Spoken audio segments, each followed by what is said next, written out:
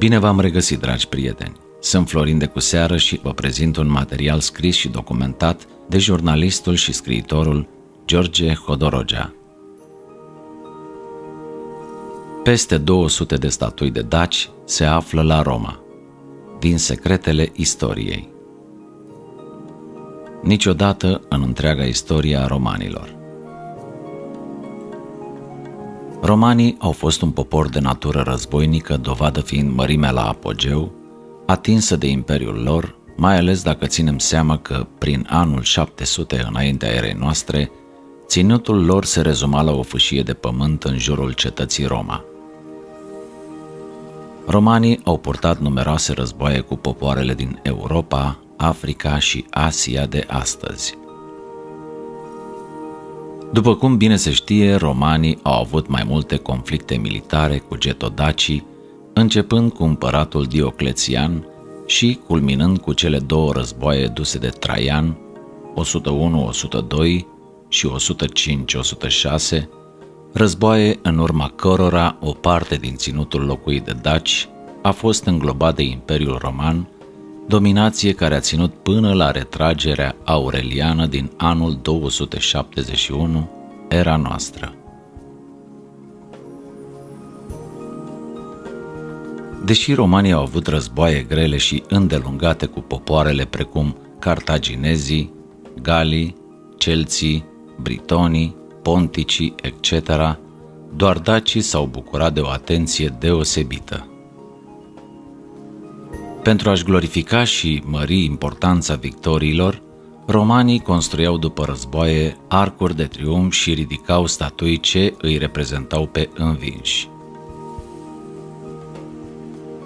Ei bine, ce i-a surprins pe istorici este faptul că niciun popor care s-a confruntat vreodată cu romanii nu a avut parte de o atenție atât de mare precum strămoșii noștri daci.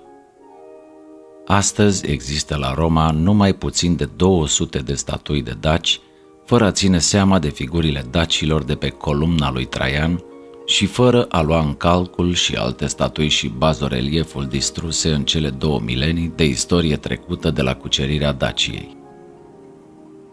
Oare ce a făcut pe roman să dea o asemenea importanță dacilor? Un simplu inventar – În anii 80 ai secolului trecut, istoricii români au alcătuit un inventar provizoriu al statuilor de daci aflate în Italia, în special în Roma, dar și în marile muzee ale lumii. Și cifra a fost impresionantă, deși, așa cum se va vedea, era încă departe de adevăr. Și istoricii notau, printre altele, columna lui Traian și circa 100 de statui în mare parte aflate în muzee. Cea mai cunoscută statuie fiind cea din Florența și care făcuse parte inițial din forumul împăratului Roman Traian și care fusese sculptată în anul 117. La intervenția statului român, artiștii italieni au creat o replică identică care, ulterior, a fost amplasată în București în parcul Izvor.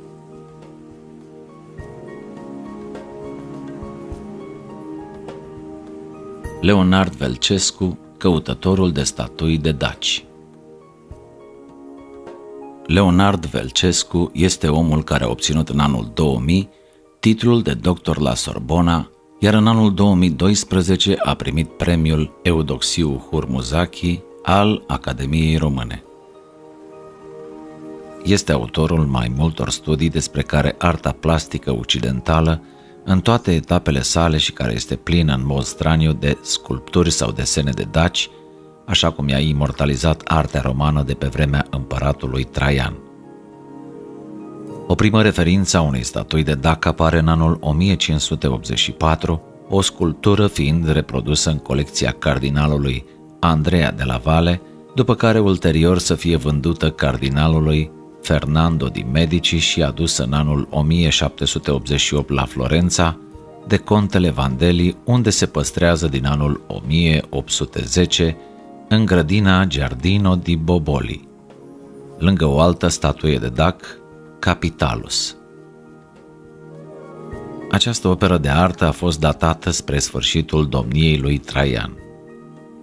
Tot Leonard Velcescu a semnalizat și identificat la arcul de triumf al împăratului Constantin numai puțin de 8 statui de daci de mari dimensiuni, deși edificiul respectiv a fost construit la 200 de ani după războaiele daco-romane.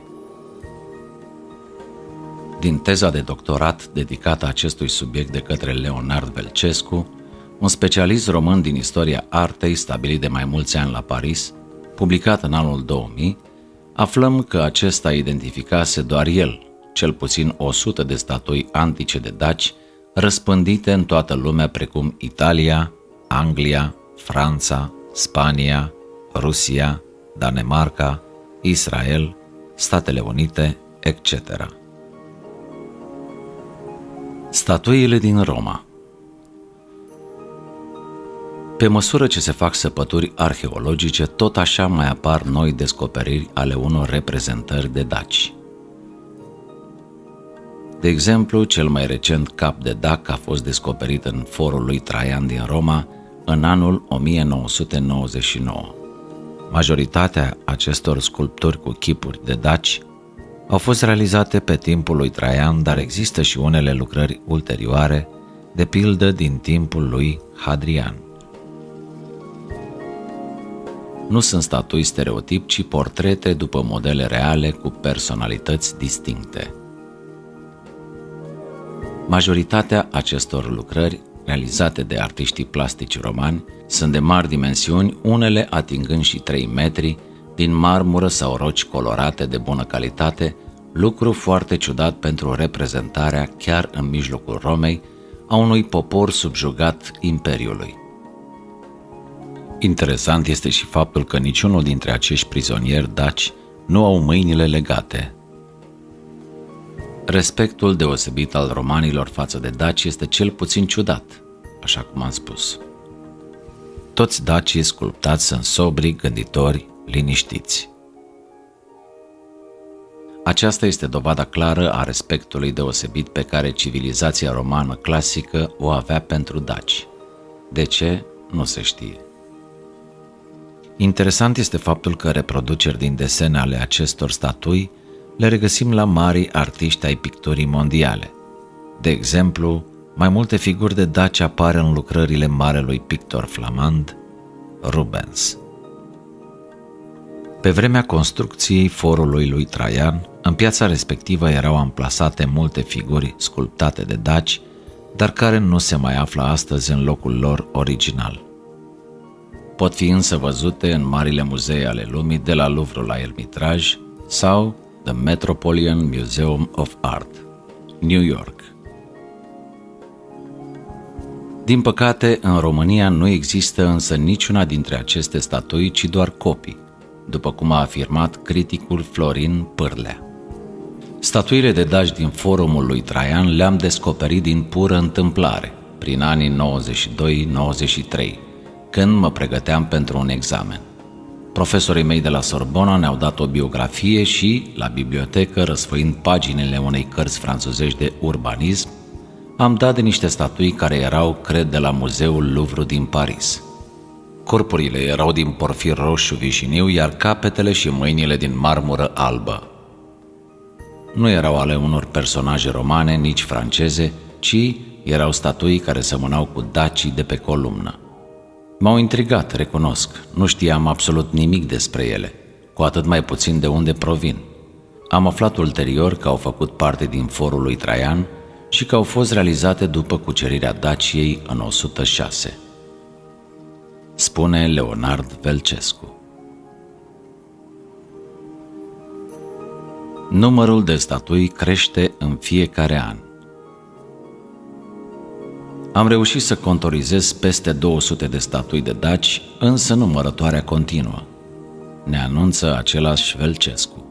Și de la cele 12-14 statui prezentate în proiectul pentru teza de doctorat, în lucrarea pe care am susținut-o la sfârșitul anului școlar 2000, am adunat 130 de statui, corpuri, fragmente și așa mai departe de daci, realizate pentru forul lui Traian și răspândite în toată lumea. Din 2000 încoace s-au mai adunat, iar în prezent am reușit să contorizez peste 200. În forul lui Traian, fiecare coloane îi corespundea o statuie de dac. De asemenea, sunt și astăzi prezente chipuri de daci pe fațada Basilica Ulpia. De la autorii antici contemporani cu Traian și Hardian, știm că au fost făcute mai multe serii de statui pentru forul lui Traian. Pentru curtea interioară și pentru basilică au fost făcute două serii de statui monumentale. Pe basilică, statuile atingeau înălțimea de 3 metri și erau din marmură colorată, numită Pavonazeto, iar a doua serie a fost realizată din marmură albă de Carrara. Statuile erau amplasate deasupra porticului curții interioare. Ultima serie de statui amplasate pe un portic de porfir roșu sunt realizate și ele din porfir, iar capetele și mâinile din marmură albă. Toate aceste statui din porfir roșu mi-au dat de gândit. În primul rând, sunt foarte multe. În al doilea rând, sunt foarte mari, atingând înălțimea de 2,40 metri. Nu în ultimul rând, sunt făcute dintr-un material aparte. Toate au fost realizate pentru for în perioada lui Traian, când arta era la apogeu și când portretistica ajunsese la cea mai înaltă expresie artistică.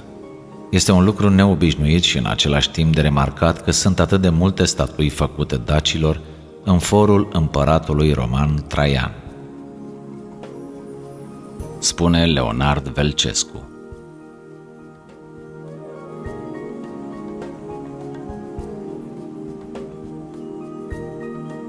Celții și dacii diferențe remarcabile – Romanii au dus războaie grele și cu celții, dar statuile din Roma care îi reprezintă pe aceștia fac parte, la fel ca cele ale dacilor, din ansambluri monumentale, dar nu aveau anvergura celor dacice și nu au fost într-un număr atât de mare. Nici pozițiile nu sunt aceleași. Celții sunt reprezentați înfrânți, răniți sau pe moarte. Adesea sunt scene de luptă destul de tragice. În contrast, statuile dacilor din forum îi prezintă pe aceștia poziționați cu mâinile una peste alta, ca și cum ar fi pozat într-o postură normală. Există și pentru popoarele germanice înfrânte statui, dar, ca și în cazul celților, nu de dimensiunea și numărul statuilor de daci. Așadar, nu găsim un echivalent. Este dificil să oferim o explicație pentru aceste vizibile diferențe și asta se datorează probabil și faptului că multe documente originale s-au pierdut. Se știe că au existat lucrări antice care vorbeau sau prezentau statuile dacilor, precum de Belodacico a lui Traian, Getica lui Criton, Historia lui Petronius și altele, dar din păcate s-au pierdut. Probabil că din lectura acestor texte antice aflam motivul real pentru respectul dovedit de romani pentru poporul dac. Astăzi, din aceste lucrări mai există doar câteva referiri în alte texte antice. Astfel că putem susține doar niște ipoteze plauzibile, dar putem spune cu certitudine următoarele. Aceste statui există, provin din forum, cunoaștem dimensiunile și numărul lor aproximativ. Întrebarea pertinentă care se naște este următoarea. De ce atâtea statui de barbari daci în inima Romei? Și încă o curiozitate, ca să nu spunem ciudățenie. În inima Romei se află mai multe statui de daci decât statui de personalități romane sau chiar zeități. Bineînțeles că au fost și personalități de acest tip după reconstruirile făcute de italieni, francezi și americani, dar se vede clar că numărul dacilor este mult mai mare decât al personajelor romane. O explicație ar consta în faptul că mulți împărați romani, precum Caligula, au distrus și înlocuit statuile înaintașilor cu cele personale în urma unui delirant cult al personalității. Dar nici acești împărați nebuni nu s-au atins de statuile dacilor. De ce oare? Încă o întrebare fără răspuns.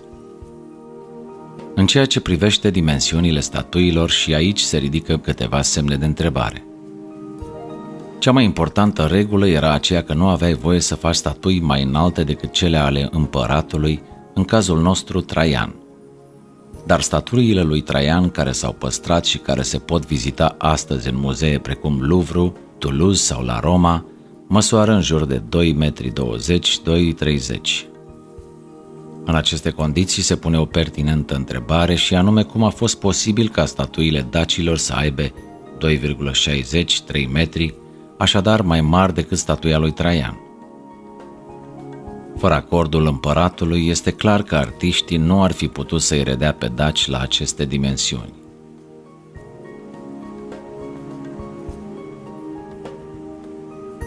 De ce dacii sunt liberi? Comparând cu alte statui, se poate observa că romanii, atunci când îi reprezentau pe învinși și barbari sub formă de prizonieri, îi sculptau fiind legați cu lanțuri, cu cătușe și nu doar de mâini, ci și de gât. Pe statuile de daci nu se văd ochiurile de la lanțuri pe care de altfel artiștii romani le sculptau în detaliu. Mai mult, poziția în care sunt sculptați dacii nu este cea de prizonieri, care ar fi fost trofeele victoriei romane. De obicei, prizonierii sunt reprezentați în monumentele de trofeu legați de un trunchi de copac sau de garduri în lanțuri cu mâinile legate. Aceste imagini există și în cazul dacilor în basoreliefurile de pe columnă, unde dacii sunt sculptați fiind duși din căruțe, legați cu lanțuri și cu cătușe de gât. În cazul statuilor din forum, nu este același lucru. De ce oare? Puteau să-i reprezinte sub formă umilă, sub formă de trofeu, dar nu e cazul. Dacii din bazoreliefuri și statui, cu excepția notabilă a columnei lui Traian, sunt oameni liberi și mândri de statutul lor. Un alt lucru care merită remarcat este faptul că o serie de statui sunt făcute din porfir roșu. Din antichitate sunt păstrate mai multe mențiuni în texte antice că din porfir nu aveau voie să fie făcute decât statuile împăraților romani.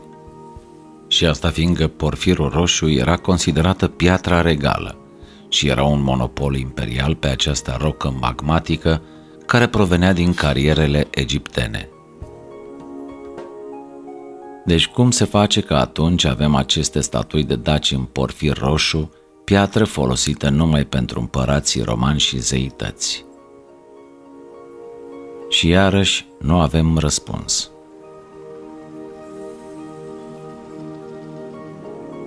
Statuile dacilor motiv de inspirație pentru artiștii renașterii.